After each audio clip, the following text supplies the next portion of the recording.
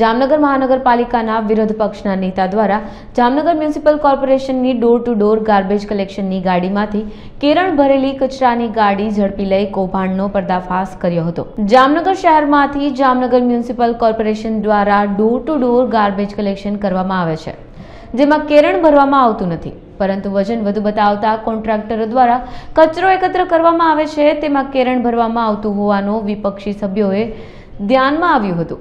આથી વિરોધ પક્ષના નેતા ધવલભાઈ નંદા, કોર્પોરેટર અલ્તાફભાઈ ખફી, આનંદભાઈ ગોહિલ, પાર્થ પટેલ વગેરે દ્વારા દરોડો પાડી જામનગર મ્યુનિસિપલ કોર્પોરેશનની કચરાની ગાડીમાંથી કેરળ ઝડપી લઈ કૌભાંડ ખુલ્લું પાડ્યું હતું.